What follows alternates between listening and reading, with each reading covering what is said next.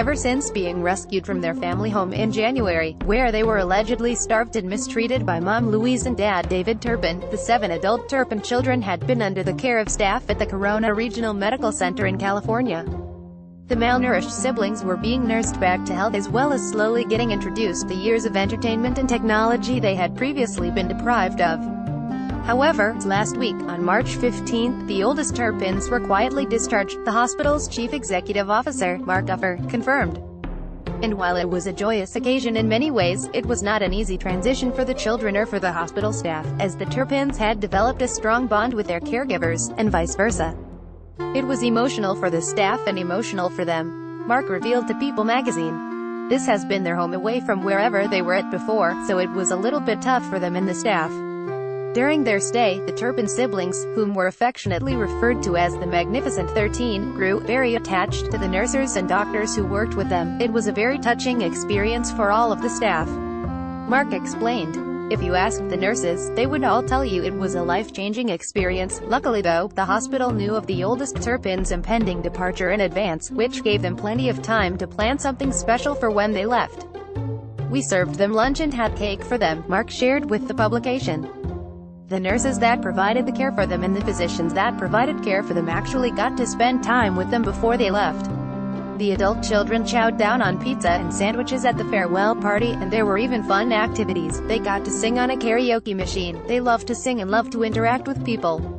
Mark said. They can sense people that actually care for them so they were very attached. They were able to sing. It was like a birthday party environment. But while the hospital wanted to do something special for the siblings, the children too wanted to leave their temporary caregivers with gifts of gratitude. They made gifts for each one of us, little crafts for each one of us. They made bracelets out of beads that they gave to all the nurses. Mark said. They had little scrapbooks that they wanted us to all write messages in before they left so they had something to remember us by. How sweet is that? Apparently the Turpin kids enjoyed making crafts throughout their hospital stay, as many were donated to them after their horrific story broke. We had a lot of donations of crafts, people sending Play-Doh and scent crayons and coloring books and things they could entertain themselves with, Mark said. There were beads with initials. They would take the stretchy twine they make bracelets out of and would make one for me saying, Outstanding CEO, or Coolest CEO ever, something like that. One of them had my initials on it. I have three or four bracelets they made me over the time they spent here. They gave them from their hearts, that is all they had to give. As they left Corona Regional, they were tearful and I think a little bit afraid but at the same time they were hopeful that the environment they were going to would allow them to get on with their lives. Mark revealed. We are hopeful that occurs.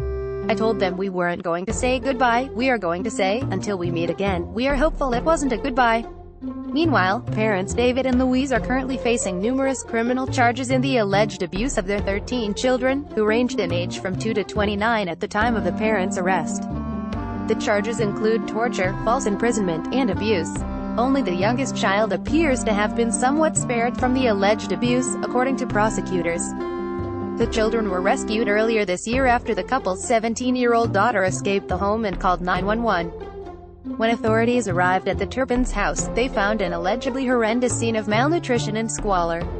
Some of the children were shackled to their beds. They were allegedly denied food and were only allowed to take a shower once a year. David and Louise are being held on a $9 million bond each and face life in prison if convicted of the crimes against their children. They have pleaded not guilty to all